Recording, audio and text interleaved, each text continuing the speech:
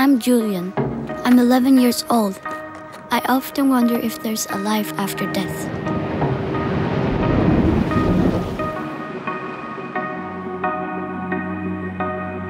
Well, the first time I heard about Holy Grail, it was uh, one of those uh, sci-fi what ifs, and, and can you imagine in, an, in a distant future everything was like this? Emballage eller affald, det er bare noget, der er nogen, der tager sig af. Man lægger det øh, ned i sin spand, øh, og så forsvinder det jo ud af, af syne. Ikke? It's definitely critical that we can convince the, the whole industry, and we all need to do something. Så i Danmark har vi jo haft et pant- og retursystem for øl og sodavand siden 30'erne. Som forbruger går man ned i butikken og køber sig en øl eller en sodavand. Man betaler en pant, og når man så afleverer den igen, så, øh, så får man sine penge igen. Det har en værdi. Men altså, vi har det jo ikke for alle mulige andre emballage. We have recycling goals that are quite ambitious, but in all honesty, incineration is where most of our household waste go. Why do they burn our future? Der er kommet et EU-direktiv, som sætter nogle krav til alle EU-lande om, at man skal sørge for, at de her emballage bliver samlet ind og genanvendt. Øh, man indfører faktisk det, der hedder producentansvar. Og det betyder jo, at det bliver producenternes ansvar at sørge for emballagen, også efter den egentlig har forladt fabrikken. We were not used to work together as uh, competing companies, but there was definitely a need uh, to collaborate. I organized a conference where I basically invited the key players. And in the afternoon, um, I've invited then someone uh, to talk about digital watermarks. And everyone was like, what is this guy bringing to, the, to the stage? Because nobody understood what the potential benefit could have been. The project Holy Grail is all about making packaging intelligent by use of a digital watermark. Um, is basically to start modifying the artwork.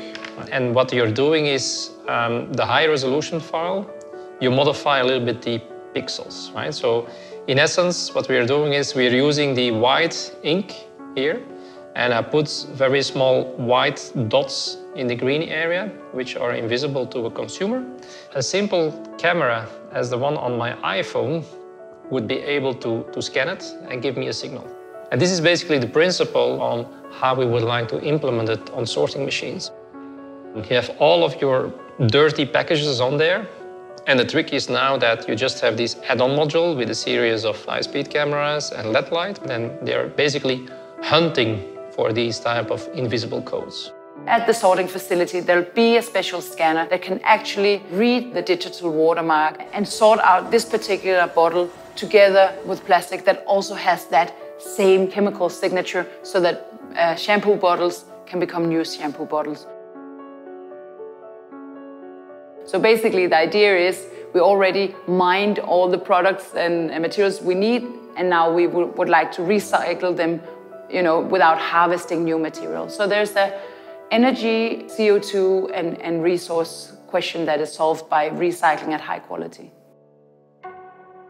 At the moment, we are working on a prototype machine that has been installed in Copenhagen to make these crucial tests for uh, how well does the packages that has been uh, enhanced with digital watermarks, how well do they perform? So the tests are going really well. Is that the food and non-food? Food and not food, yeah. And, and what is the ejection success for PET bottles? 95, 96%, yeah. I think that this could be the solution if everybody uh, pulls the same way. Det er en kæmpe opgave. Altså, den er slet ikke set før. Men hvis det kun er Danmark og San Marino, der synes, det er en god idé, altså, så, så er det op ad bakke. Ikke? Men hvis, hvis Tyskland og Frankrig og Italien øh, øh Holland og, og, og sådan noget siger, at det her er også noget, vi satser på, så, øh, jamen, så har det også større muligheder. Ikke? We're getting ready to get it commercialized. Um, hopefully, we're successful by mid 2022. But then it's really the time that the industry, the waste manufacturers, uh, brand owners, retailers are going to massively implement, invest. It's only by doing so that actually we, uh, we can make a drastic change. There's so many adults that need to agree on this, but they're usually not very good at that. I wonder if this time will be different.